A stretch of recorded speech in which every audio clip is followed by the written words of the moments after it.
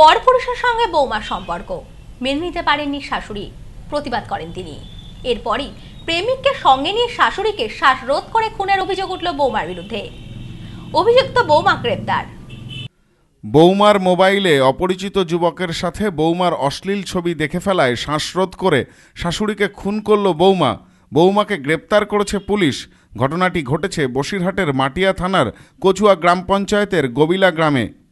ঘটনায় মৃত শাশুড়ি মমতাজ বিবি। জানা গেছে, মৃতার স্বামী সিরাজুল মণ্ডল পেশায় মেছো ভেড়ির পাহারাদার, যিনি কর্মসূত্রে বাইরে থাকেন। ছেলে ফিরোজ মণ্ডলও কর্মসূত্রে মুম্বাই গিয়েছিলেন।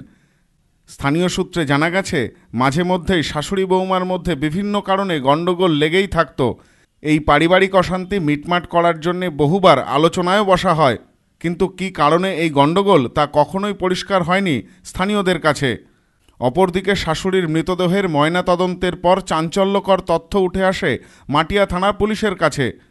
পুলিশ সূত্রে জানা গেছে, গত মাসের চোদ্দ তারিখ ভোর পাঁচটা নাগাদ বাড়ির অদূরে আমবাগানের ভেতর শাশুড়ি মমতাজ বিবির ঝুলন্ত দেহ উদ্ধার হয়।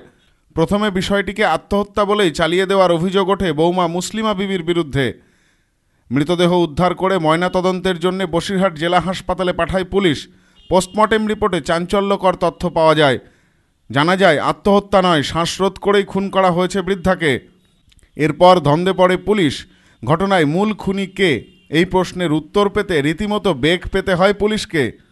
মহিলাকে যে পরিকল্পিতভাবে খুন করা হয়েছে, এই সত্যকে প্রথমে মেনেই নিতে পারছিলেন না মহিলার স্বামী ও ছেলে।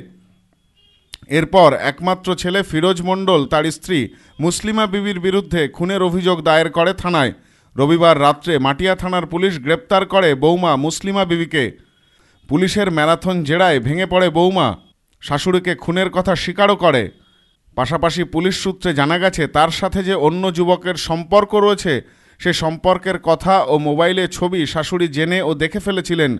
সেই কারণেই ওই যুবকের সহায়তায় মুসলিমা পরিকল্পিতভাবে খুন করে আমবাগানে ঝুলিয়ে দেয় শাশুড়ির দেহ। পুলিশ মুসলিমার ঘরে তল্লাশি চালিয়ে একটি পুরুষের জ্যাকেট উদ্ধার করেছে। ঘটনার তদন্ত শুরু করেছে পুলিশ। অভিযুক্ত যুবকের খোঁজেও তল্লাশি চলছে। মানে বাপ বেটা বাড়িতে থাকি না? কর্মসূত্রে বাইরে থাকি। কোথায় থাকো কোথায়? বোম্বাইতে থাকি। কি করো? আমার আব্বা আমি সেলাইয়ের কাজ করি। আমার আব্বা থাকে জলকারে। দরকার আছে নাকি তোমাদের? না না লোকের জলকারে কাজ করে। আর তখন আমি মানে তেরো চোদ্দ তারিখ সকালে আমি শুনলাম যে আমার মা মারা গেছে। আমি বাড়িতে আসি প্লেনে। আসার পরে দেখলাম আমার মার বডি বাড়িতে আছে, আমি চারটে পাঁচটা দিকে বাড়িতে আসলাম। দেখার পরে আমরা বুঝতে পারিনি কীভাবে মারা গেছে, আমরা বুঝতে পারিনি। পোস্টমর্টম রিপোর্ট দেখে রিপোর্ট হাতে পেয়ে দেখলাম শ্বাসরোধ করে মারা হয়েছে। আমার বউ, আমার বউকে, মাকে মেরেছে। মেরে ঝুলিয়ে দিয়েছে। Bureau report news no man's land Basirhat.